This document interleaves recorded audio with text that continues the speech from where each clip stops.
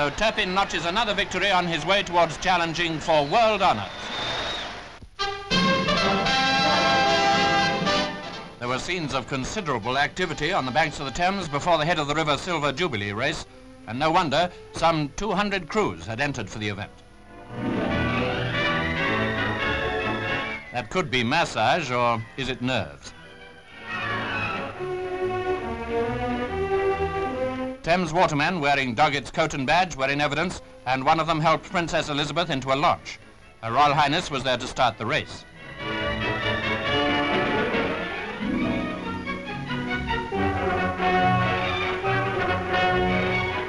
It's a time race, of course, rowed over the varsity boat race course in reverse, Mortlake to Putney.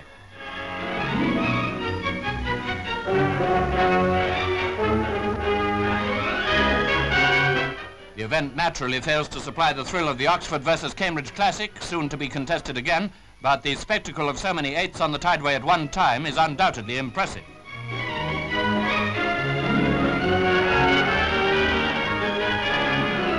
The first five crews all finished in under 19 minutes, victory going to Jesus College, Cambridge, with Thames Rowing Club second.